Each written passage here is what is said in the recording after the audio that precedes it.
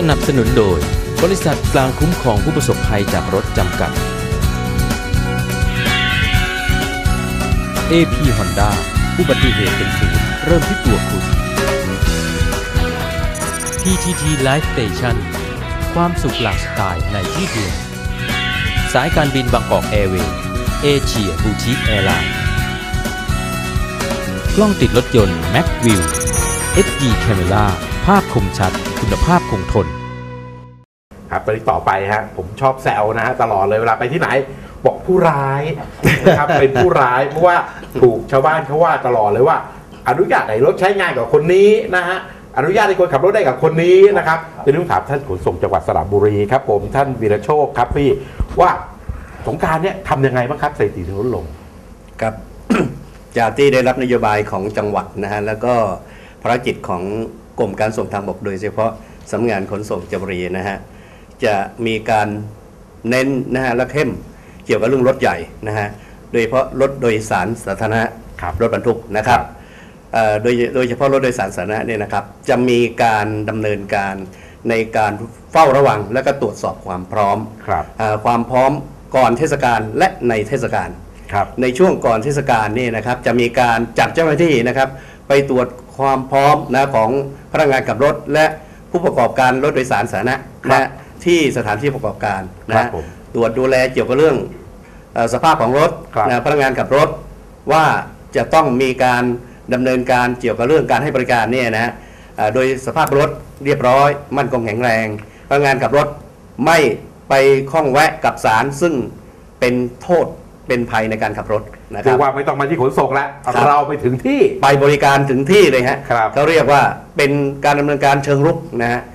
เอ่อนอกจากนี้ในช่วงเทศกาลนะฮะก็มีการจัดเจ้าหน้าที่ไปตรวจความพร้อมนะฮะอันนี้รวมทั้งเจ้าที่ตำรวจทหารนะฮะซึ่งมีการบริการอย่างเข้มแข็งนะฮะเอ่อโดยเฉพาะจังหวัดสระบุรีเนี่ยจะต้องเออขอบคุณนะฮะหน่วยราชการทุกหน่วยนะฮะมีการทำงานให้ความร่วมมือ แล้วก็ดำเนินการให้เป็นไปตามนโยบายของจังหวัด และก็รัฐบาลเนี่ยนะฮะอย่างเข้มแข็งมากนะฮะจะเห็นได้ว่าเป็นหน่วยงานที่ให้ความร่วมมือกันเอ่อในภารกิจนะฮะที่จะต้องปฏิบัติเนี่ยนะฮะเอ่อได้อย่างมีประสิทธิภาพนะครับท่านขนส่งครับถามนิดหนึ่งในช่วงเทศกาลสงกรารที่ผ่านมานี้นะฮะเรามีอุบัติเหตุรถโดยสารใหญ่ๆไหมครับ ของอยู่บุรีเราเนี่ยนะปีนี้อุบัติเหตุอุบัติเหตุเกี่ยวกับเรื่องรถโดยสารขนาดใหญ่เนี่ยฮะ ไม่มีเลยครับ ไม่มีเลยนะไม่มีเลยครับนะฮะโอ้อีกอันนึงอันนึงรู้ไหมฮะอืม ท่านกุศลจังหวัดท่านสุ่มตรวจปัสสาวะคนขับครับ โอ้ดูครับสารเสพติดครับ อ่า หรือกินลิปผงลิปโพเดี๋ยวเนี้ยไม่ยอมฮะ คือนอกจากขนส่งก็มีเรื่องเครื่องวัดแอลกอฮอล์อยู่แล้วเนี่ย ใช่ ก็ยังมาตรวจเรื่องสารเสพสุ่ติมดสารด้วเสยพติดด้วย สุ่มตรวจฮะ ครับ เพราะฉะนั้นพนักงานขับรถนะที่จะออกจากสถานีจากจังหวัดสระบุรีเราเนี่ยนะจะต้องมีแอลกอฮอล์และสารเสพติดเป็นศูนย์เท่านั้น ตอนนี้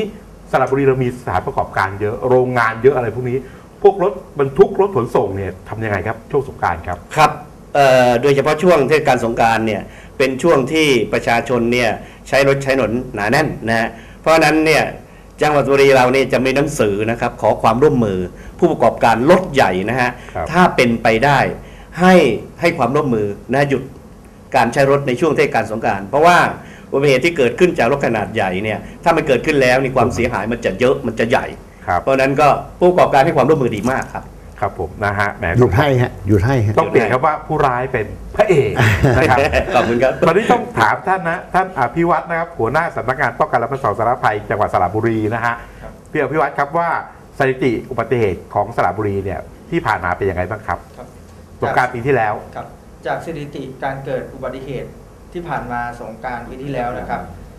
เกิดอุบัติเหตุทั้งหมด 41 ครั้งครับนะเสียชีวิต 6 รายครับนะครับแล้วก็บาดเจ็บ 40 รายครับนะครับเมื่อเทียบเท่ากับปีนี้แล้วลดครับ ลงเกินกว่าครึ่งหมดเลยนะครับ ทั้งหมดเลยเหรอฮะฮะ ลง เพราะว่าปีนี้ ครับ26 ครั้งครับ นะครับบาดเจ็บ 24 เสียชีวิต 4 ครับเท่ากับว่าโดยการนำ ของผู้บริหารจังหวัด โดยท่านผู้ว่าราชการจังหวัดได้ให้นโยบายในการครับดำเนินการไปแล้วครับส่วนราชการหลายส่วนก็ให้ความร่วมมือโดยผู้ครับบริหารจังหวัดลงมือดำเนินการเองนะครับครับจึงประสบความสำเร็จครับตอนนี้ก็คือแหมแค่สี่ลายนะฮะถ้าไม่มีสี่ลายเราได้ล้านหนึ่งแล้วนะฮะสี่ลายนี่ไม่มีหนึ่งล้านบาทแล้วนะฮะอืมเดี๋ยวปีหน้าต้องทำอีกทีปีใหม่นะครับ แต่ซีไลน์เนี่ยท่านนะฮะมันเป็นเรื่องสุดวิสัยนะครับ มันเป็นเรื่องสุดวิสัยเอ่อเดินข้ามถนนเนี่ยครับนะครับ คนเอ่อเดินข้ามถนนแล้วก็ไม่ทันไม่ระวังมอตัวฮะครับกับอีกอีกอันหนึงก็เอ่อมีรถจอดเสียครับ แล้วก็ขี่มอเตอร์ไซค์ไปไปชชนนอืมมันเป็นเรื่องสุดวิสัยครับมันไม่ใช่มาเกิดจากสาเหตุจากการเมาเหมือนในอดีตครับเมาแล้วขับ แล้วก็ด้วยความคึกขนองไม่ใช่ครับเนี่ยน่าน่าน่าเสียดายซึ่งจริงๆแล้วของเราเนี่ยน่าจะเป็นศูนย์ด้วยซ้ครับำเพราะแต่ละวันเนี่ยเรามีการประชุมการประเมินกัน อะไรครับต่างๆนะฮะก็ไม่เป็นไรครับ ปีหน้าเดี๋ยวปีใหม่แล้วว่ากันนะครับ ช่วงนี้นะครับได้สัมภาษณ์เจ้าที่เกี่ยวกับเรื่องการบังคับใช้ไปแล้ว เดี๋ยวเรามาคุยกับเจ้าที่ที่เอ่อรักษาพยาบาลนะฮะอีกชุดหนึ่งนะฮะเจ้าที่ที่รณรงค์ว่ามีอะไรบ้างนะครับ ตอนนี้นะครับผมต้องขอขอบคุณนะครับ ท่านเอ่อพลตรีอัศวินนะครับ บุญธรรมเจริญนะครับ ท่านพันตำรวจเอกธนทรนะครับ คงชีพนะครับ ท่านวีรโชคชัยขีรินนะครับ แล้วก็ท่านผออยากจะอยู่กับเราอยู่ก่อนนะครับ ครับต้องขอบคุณ 3 ท่านนะครับ ขอบคุณมากครับ ขอบคุณครับ ขอบคุณครับ ขออนุญาตแนะนำนะครับ ท่านนายแพทย์นพพร พงษ์ปลื้มปิติชัยนะครับ ท่านนายแพทย์สาธารณสุขจังหวัดสระบุรีครับ สวัสดีครับอาจารย์หมอครับ ครับ ต่อไปครับ คุณประวัตินะครับ เสวะตาวงศ์นะครับ ท่านผู้อำนวยการแขวงการทางทางหลวงสระบุรีครับ สวัสดีครับพี่ประวัติครับ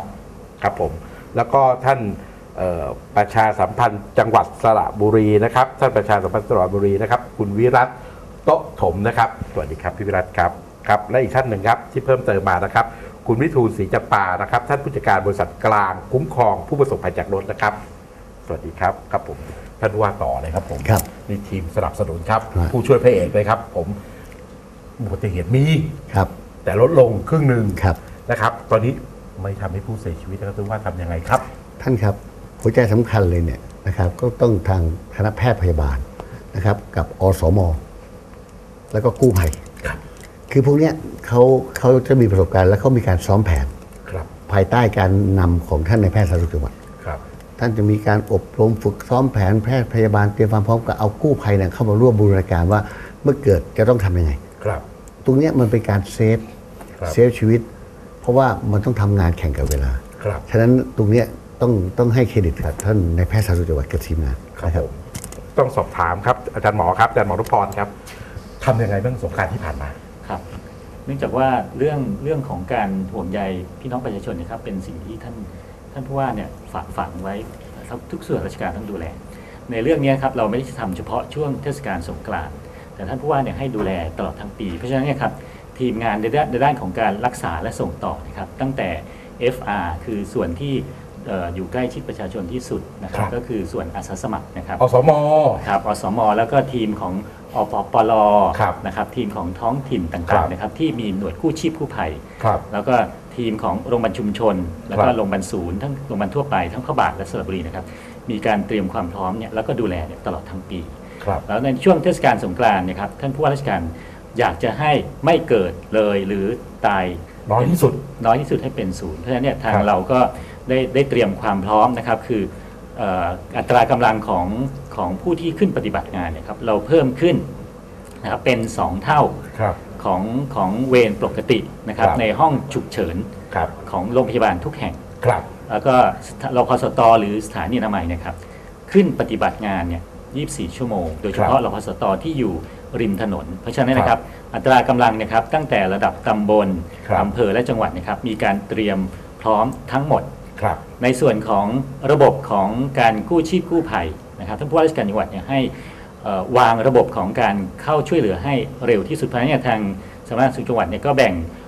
วงของการช่วยเหลือเนี่ยครับเป็น 2 วงครับวงที่หนึ่งนะครับมีโรงพยาบาลศูนย์เป็นแม่ข่ายนะครับดูแล 8 อำเภอโรงพยาบาลที่สองวงที่2นะครับเป็นโรงพยาบาลพุทธบาท ซึ่งเรามีครับโรงพยาบาลทั่วไปในแห่งหนึ่ง ดูแลอีก 4 อำเภอ เพราะฉะนั้นเนี่ยเอ่อขอบข่ายของการช่วยเหลือเนี่ยจะมีประสิทธิภาพสูงขึ้นกว่า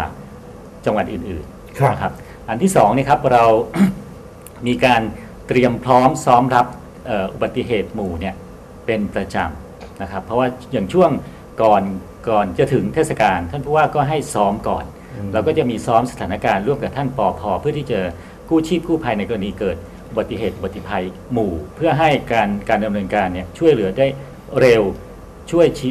ช่วยชีวิตช่วยรักษาอวัยวะให้คนสระบุรีเนี่ยหรือคนที่มาเนี่ย ปลอดภัยสูงที่สุด คือสระบุรีเนี่ยเราไม่ได้ว่าพอเทศกาลแล้วซ้อมไม่ใช่เรามีการซ้อมมากันตตลลออดดใช่ครับ นะเพราะฉะนั้นเจ้าหน้าที่ก็จะไม่เงื้องะจะ alert ถึงเวลาถึงเวลาที่เกิดเหตุปุ๊บรู้รู้เลยว่าต้องทำยังไงใช่ส่งครับต่อยังไงประสานยังไง แล้วแล้วแล้วก็เรื่องนี้นะครับท่านผู้ว่าเนี่ยให้ความสำคัญมาก เราเนี่ยมีอุปกรณ์เครื่องมือเครื่องใช้ที่ทันสมัยกว่ากว่าจังหวัดอื่นๆ เรามีระบบ telemedicine นะครับ โดยท่านผู้ว่าราชการจังหวัดเนี่ยได้หางบประมาณทั้งส่วนที่เป็นของราชการ แล้วก็ ส่วนของของเอกชนเอกชน นะครับในการที่มาพัฒนารถ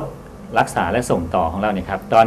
ในช่วงเทศกาลเนี่ยครับทุกทีมของเราเนี่ยครับพร้อมหมด โดยเฉพาะทีมที่เป็นหน่วยขั้นสูงนะครับจะมีระบบ telemedicine ซึ่งจะทำให้เหมือนกับแพทย์ผู้เชี่ยวชาญเนี่ยออกไปด้วย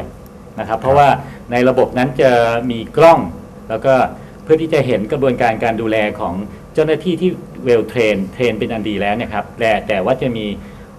แพทย์ผู้เชี่ยวชาญเนี่ยอยู่ที่โรงพยาบาลศูนย์ สามารถเห็นภาพของการช่วยเหลือและสั่งการได้ มีการส่งข้อมูลของ EKG และสัญญาณชีพเนี่ยมาที่ที่ศูนย์ทำให้เราเนี่ยสามารถที่จะสั่งปรับการช่วยเหลือโดย โดยบุคลากรที่ส่งไปนะครับ ได้อย่างมีประสิทธิภาพนี่เป็นเป็นความเมตตาของท่านผู้ว่าราชการจังหวัด แล้วก็เมื่อมาถึงโรงพยาบาลแล้ว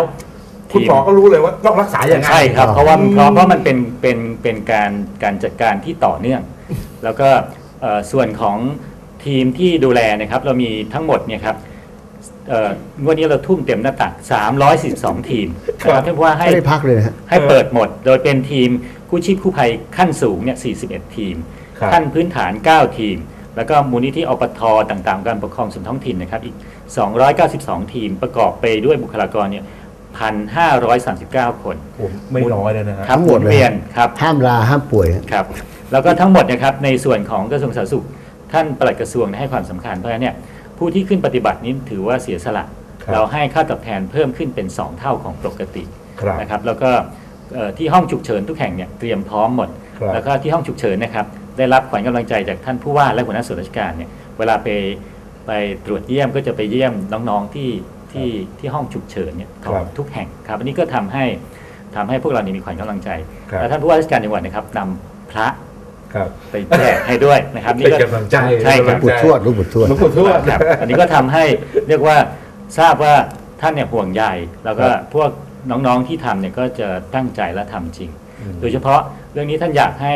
ให้การดำเนินการเนี่ยอยู่ที่ ชุมชนเองด้วย เราก็มีเรื่องของด่านชุมชนโอ้โหด่านชุมชนครับผม โดยที่ท่านก็สั่งการผ่านทางท่านแนมเพอไปยังเอ่อกำนันผู้ใหญ่บ้านครับนะครับว่าให้ทุกชุมชนนะครับดำเนินการในการตั้งด่านชุมชน โดยที่ทางสาธารณสุขก็จะมีหน่วยของเจ้าหน้าที่สาธารณสุขตำบลและอสมนะครับเข้าไป support ครับแล้วที่ด่านชุมชนเนี่ยก็จะบูรณาการไปกับด่านบริการที่ท่านผู้ว่าครับเนี่ยวางไว้ เพราะฉะนั้นเนี่ยก็จะเป็นทั้งด่านที่ เข้าไปช่วยควบคุมบังคับใช้กฎหมาย เพื่อให้คนในชุมชนนะครับดูแลกันเอง เพราะเราจะเห็นว่าส่วนใหญ่ของของคนที่เกิดอุบัติเหตุเนี่ยเป็นผู้ชายครับวัยรุ่นและวัยทำงาน ครับ ซึ่งท่านผู้ว่าเนี่ยห่วงมากเพราะไม่งั้นเนยครับจะทำให้คนสระบุรีเนี่ยมาเสียชีวิตด้วยด้วยช่วงเนี่ยครับเยอะแล้วทำให้พอเข้าสู่วัยสูงอายุนะครับ ผู้ชายเนี่ยจะเหลือน้อย ครับและจะไม่มีแรงงานในการที่จะอืมดูแลคอัรับนนี้ท่านเป็นห่วงมากก็เลยให้ให้ดำเนินการ อันนี้ก็จะเน้นกำลังของผู้หญิง ครับนะครับในการดูแลผู้ชายในในชุมชน ในครอบครัวของเขาอ่าที่จะไม่ให้ถ้าเมาเนี่ยอยู่กับบ้าน ครับ ผู้หญิงก็จะใช้ทุกเล่มเกวียนในการจัดการให้ผู้ชาย อยู่ในบ้านไม่ออกไป แล้วถ้าหลุดออกมาเนี่ยครับก็จะมีด่านชุมชน ครับ จะเก็บกักนะครับ คนที่เมาหรือขี่มอเตอร์ไซค์ซึ่งครับเรามีจากสถิติอุบัติเหตุเนี่ยเป็นผู้ชายขี่มอเตอร์ไซค์แล้วเมา ถ้าครับ ปล่อยออกไปท้องถนนนี่ก็จะเป็นภาระของคุณตำรวจ ครับ เราก็จะให้ด่านชุมชนเนี่ยเก็บกักเอาไว้ แล้วก็ครับ ท่านผู้ว่าเนี่ยครับจะให้ทางเราเนี่ยทำคลิปครับในการให้เห็นว่าถ้าเกิดอุบัติเหตุแล้วเนี่ยญาติพี่น้องทุกข์ยังไงเขาทุกข์ยังไงอืมท่านผู้ว่าท่านนายกต้องไปเยี่ยมเนี่ยท่านท่านพร้อมไปเยี่ยมแต่ท่านครับน่ะไม่อยากไปเยี่ยมครับอยากให้เอ่อคนไม่ประสบเหตุสระบุรีไม่ให้ประสบอุบัติเหตุครับก็ให้เห็นภาพแล้วก็จะได้คล้ายๆช่วยกันในการครับป้องกัน นี่ก็เป็นจุดสำคัญอันหนึ่งเราจะมีด่านชุมชนเนี่ยครบทุกหมู่บ้าน เพราะท่านผู้ว่าเนี่ยบอกเลยนะครับว่า ถ้าหมู่บ้านไหนคนตาย ครับ ผู้ใหญ่บ้านและกำนันต้องมาพบท่านผู้ว่า ครับ อันนี้เป็นเป็นเขาเรียกว่าสั่งง่าย แต่ว่าทำได้นะครับเฉียบขาดมากอันนี้ถือว่าครับเราเข้มงวดกวดขันเรื่องนี้มากทำให้ระบบรักษาครับนะครับของเราเนี่ยเชื่อมต่อหมดนะคครัรับบผมตั้งแต่หมู่บ้านชุมชนมาครรับพสตครับนะครับทุกด่านเนะครับจะมีหน้าที่รพสตเนี่ยไปให้การช่วยเหลือเบื้องครับ ต้น แล้วก็หน่วยกู้ชีพกู้ภัยของเขาทั้งพันกว่าทีม พันกว่าคน 342 ทีมเนี่ยปฏิบัติงานตลอดท่านผู้ว่าไปเยี่ยมให้กำลังใจหัวหน้าส่วนไปเยี่ยมให้กำลังใจนี่ครับเป็นเป็นเคยคิดว่าเป็นกุญแจสำคัญที่ทำให้เรารักษาชีวิตประชาชนประชาชนแล้วก็ระบบของเราเนี่ยครับดูแลแล้วรักษาส่งต่อทั้งภายในเขต แล้วก็เราท่านผู้ครับตรวจเองก็ให้การดูแลระหว่างเขตนะครับมีระบบของการการช่วยเหลือกันอย่างครับอย่างเต็มที่ท่านผู้ว่าครับถามนิดนึงครับผมสงสัยมากเลยเรื่องด่านชุมชนเลยท่านผู้ว่าสมัยผมเด็กๆเนี่ย ผู้ใหญ่บ้านกำนันเนี่ยไม้ตะพดเนี่ยมันศักดิ์สิทธิ์นะฮะเดี๋ยวนี้ไม้ตะพดยังศักดิ์สิทธิ์อยู่ไหมครับยังยังยังใช้ได้เหมือนเดิมฮะยังไม่ได้ เพราะอย่างเงี้ยกำนันผู้ใหญ่บ้านจริง ๆ แล้วเนี่ยก็คือผู้นำตามธรรมชาติถึงแม้จะมาจากการเลือกตั้งก็ตาม แต่ว่าครับ เขาจะมีอำนาจเชิงบารมีอืมนะครับเขาจะมีทั้งพระเดชและพระคุณ ครับ นะครับแล้วยิ่งเราเอ่อให้มอบอำนาจให้เขาคือผู้ช่วยในอำเภอเนี่ยครับ เขาก็จะทำหน้าที่ของเขาเนี่ยในตำบลหมู่บ้านเขาได้อย่างเต็มที่ โดยได้รับการสนับสนุนจากคณะกรรมการหมู่บ้านคือกมครับผม แล้วก็พี่น้องอสมมาร่วม เจ้าที่ระดับตำบลข้าราชการเนี่ยมาร่วมตั้งด่านชุมชนเนี่ยครับนะฮะช่วยได้เยอะฮะอสมอปปลอะไรต่างๆนะครับ ผู้คุณนำชุมชเป็นนอาสาสมัครนะฮะใช่ท่านฮะผู้ว่าใช่ฮะ ดีใจเป็นอาสาสมัครแล้วเลยแล้วครับก็เรามีรางวัลจูงใจนะฮะ ครับ ผมบอกเลยว่าถ้าหมู่บ้านไหนนี่นะครับ ไม่มีอุบัติเหตุเนี่ยผมจะเอามาพิจารณาเรื่อง กำนันผู้ใหญ่บ้านแหนบทองคำโอ้ครัเราบมีรางวัลให้ครับนะครับ เรามีการประกวดมีการให้รางวัล ไม่ใช่เราเราให้แต่ภาระหน้าที่ ครับแต่เขาทำด้วยความภาคภูมิใจ ครับที่เขาถือว่าเขาเอ่อได้เสียสละ ครับในฐานะที่เป็นนักปกครอง แล้วก็ร่วมกับเอ่อทุกภาคส่วนในการที่ตั้งด่านบริการประชาชน ครับและบังคับใช้กฎหมายในกรณีที่เอ่อมีคนดื้อแพ่งหรือเมาครับ จนไม่ไหวอะไรเงี้ย ครับผมอะ